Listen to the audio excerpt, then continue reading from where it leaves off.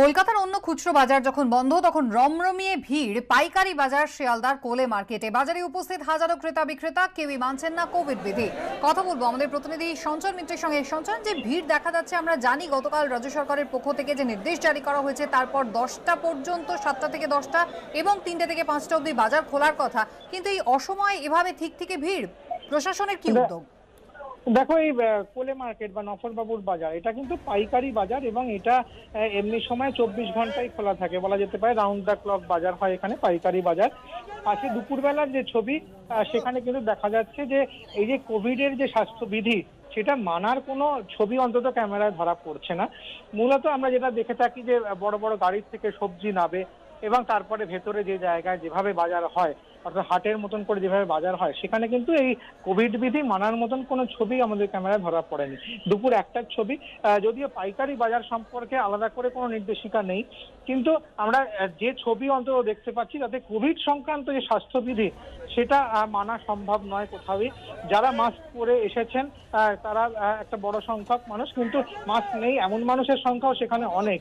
তার পাশাপাশি যেভাবে কেনাকাটা হচ্ছে একেবারে ঝাঁকা নামছে এবং সেখান থেকে প্রায় হুমড়ি খেয়ে সবাই কেনাকাটা করছেন সেখানে কিন্তু ছবিটা অত্যন্ত আহ, উদ্বেগের এটা বলাই যায়।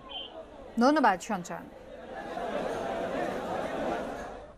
সরকারি নির্দেশিকাকে বুড়ো আঙুল দেখিয়ে সকাল দশটার পরও খোলা সল্টলেক আইএ মার্কেটের অধিকাংশ দোকান। পরে পুলিশের নজরে আসায় সেই সব দোকান বন্ধ করে দেওয়া হয়।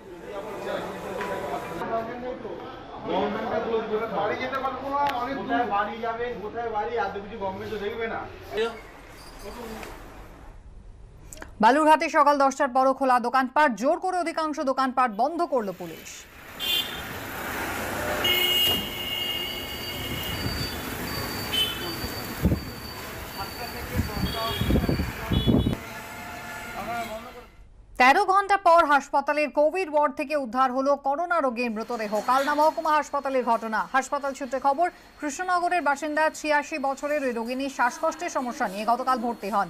রাত এগারোটা নাগাদ তার মৃত্যু হয়। এরপর থেকে কোভিড ওয়ার্ডেই পড়েছিল এই করোনা রোগীর মৃতদেহ। রোগী ও স্বাস্থ্যকর্মীদের অভিযোগ, হাসপাতাল প্রশাসনকে দেহ সরানোর জন্য বারবার আবেদন জানিয়েও কাজ হয়নি। মৃতের পরিবার দেহ নিতে অস্বীকার করায় টানাপোড়েনের জেরে দেরি, দাবি হাসপাতাল সুপারের। রাত কটার সময় মারা গেছে? রাত কটার সময় মারা গেছে? জ্ঞান মনস্তং ব্রহ্ম।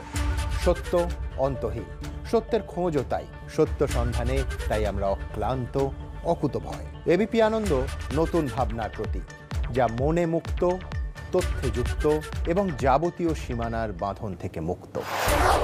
সীমা না শব্দটির মধ্যে লুকিয়ে আছে মানা শব্দটি যেন চোখ রাঙানি এক অদৃশ্য বেড়াজাল যা আটকে রাখে আমাদের এক ছোট্ট গণ্ডির মধ্যে।